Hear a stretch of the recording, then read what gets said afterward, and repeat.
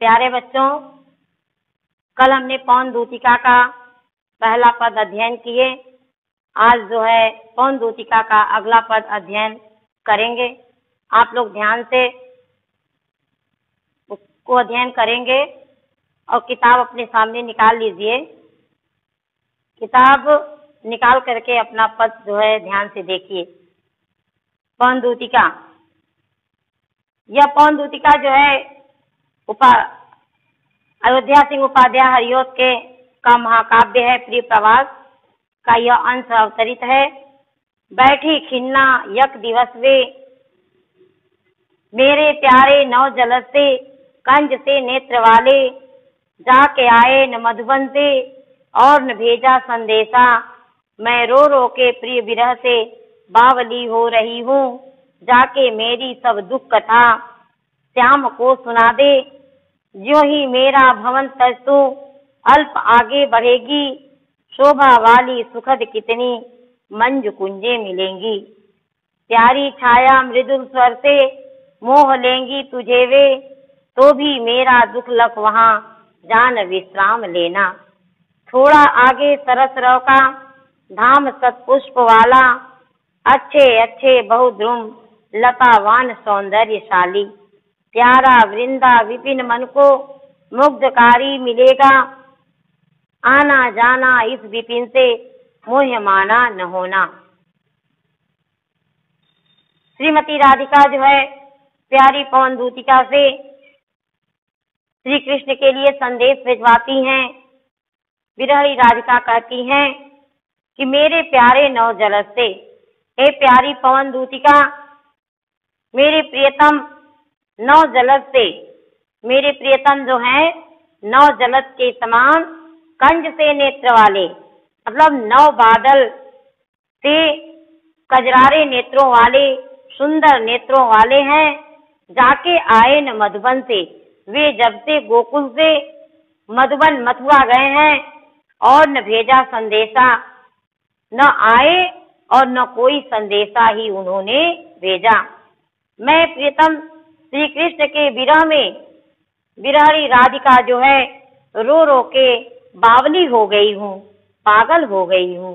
जाके मेरी सब दुख कथा, हे पवन दूतिका, मेरी दुख भरी कथा जो है, श्याम को तू सुना दे श्री कृष्ण को सुना देना।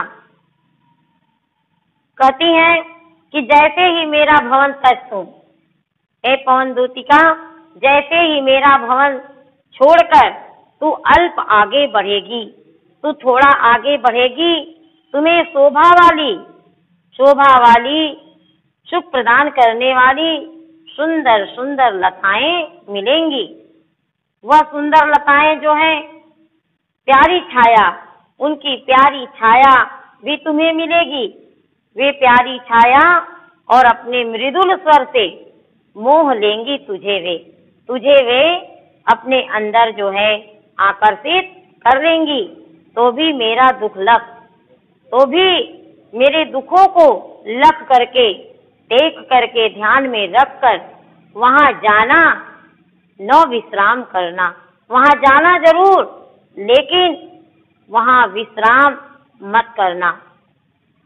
थोड़ा आगे सरस रव का धाम सतपुष्प वाला, और जैसे ही तुम थोड़ा आगे बढ़ोगी तो सरस रव का रस से युक्त ध्वनि उत्पन्न करने वाली सतपुष्प वाला, अच्छे फूलों वाला धाम मिलेगा, स्थान मिलेगा। अच्छे अच्छे बहुद्रुम उस स्थान पे बहुत ही अच्छे अच्छे वृक्ष मिलेंगे, लतावान सौंदर्यशाली और सुंदर सुंदर लताएँ मिलेंगी। प्यारा वृंदा विपिन मन को, और वहाँ प्यारा वृंदावन भी मिलेगा। मन को मुग्धकारी, जो मन को मुग्ध कर लेने वाला होगा। उस प्यारे वृंदावन में आना जाना, लेकिन मुह माना न होना।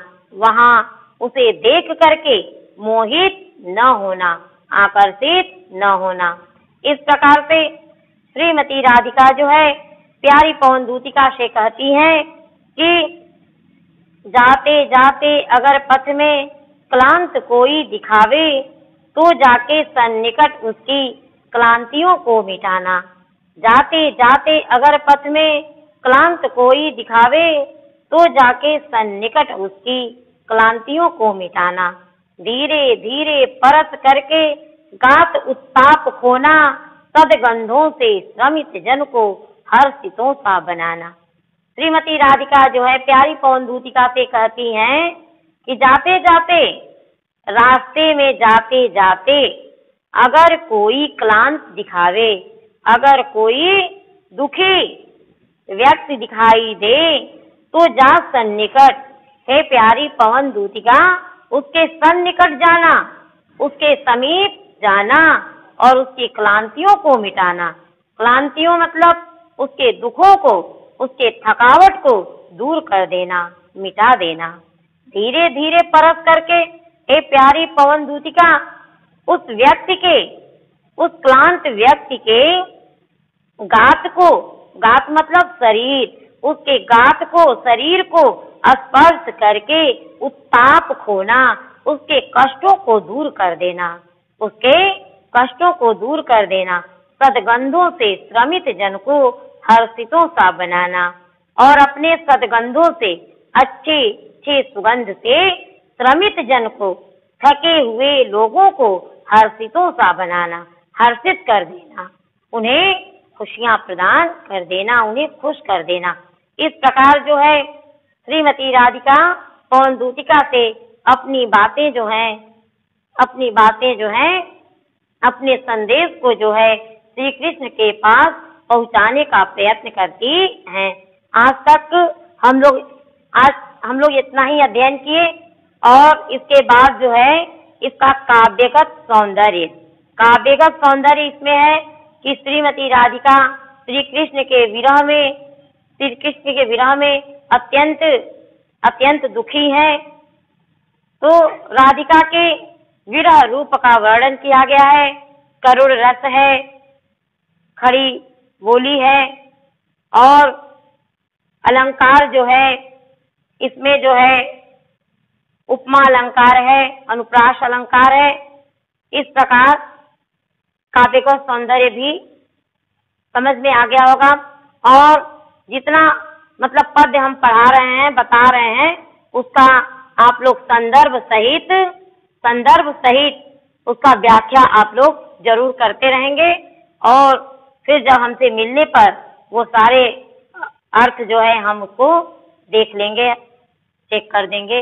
इसके बाद जो भी ना समझ में आए तो उसे आप लोग कमेंट बॉक्स में डाल दीजिएगा, फिर हम उसे समझाने का प्रयत्न करेंगे। धन्यवाद।